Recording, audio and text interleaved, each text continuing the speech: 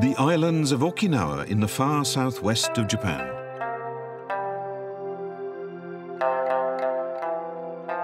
This is an area of breathtaking scenic beauty with several World Natural Heritage Sites. Okinawa's unique culture comes from its history as a trading hub between Japan and surrounding countries. This is the Kumiodori dance, it dates back over 300 years and traces its roots to the arts of kabuki and Noh. The material of the costumes is dyed using an Okinawan method called Ryukyu Bingata. This features bold, colourful designs inspired by the nature of these islands.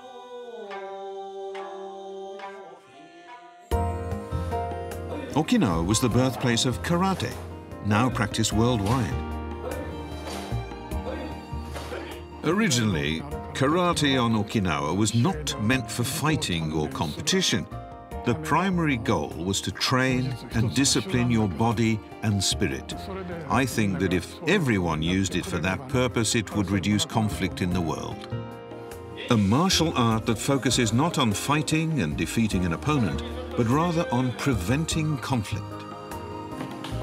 Karate continues to nurture this spirit in today's youth.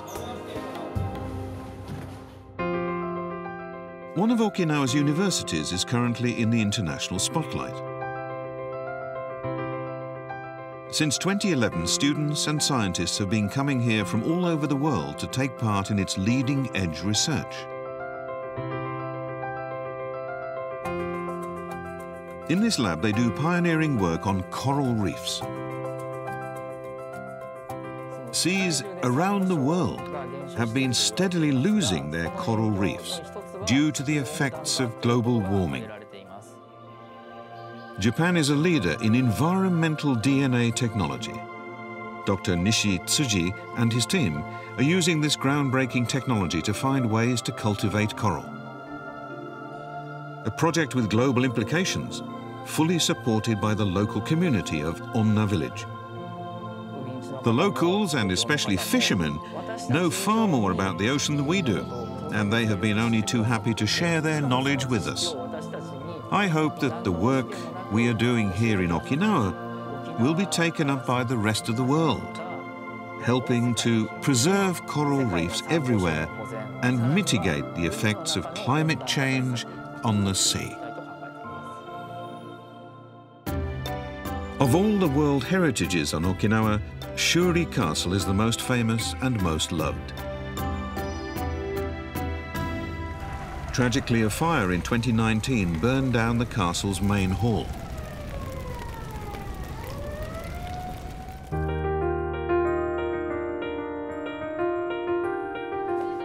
These local high schoolers have been acting as guides, explaining the castle to visitors.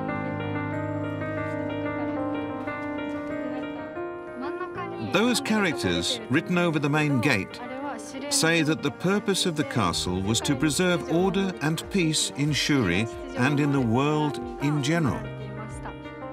In the middle of the night, sirens went off and there was an emergency radio alert telling everyone living nearby to watch out for fire spreading.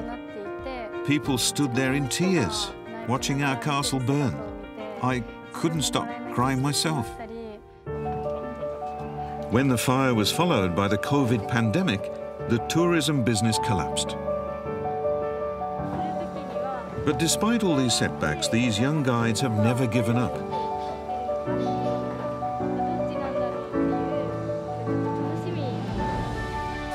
Our group discussed what action we could take, and we came up with the idea of making a VR guide. It lets you virtually explore all the different buildings of Shuri Castle while listening to our detailed explanations. This disaster just made us even more determined to spread the word about the beauty of our castle. Restoration work is proceeding rapidly, and it's hoped the castle will reopen fully by 2026. Okinawa, where no kind of adversity can dampen the people's optimistic spirit.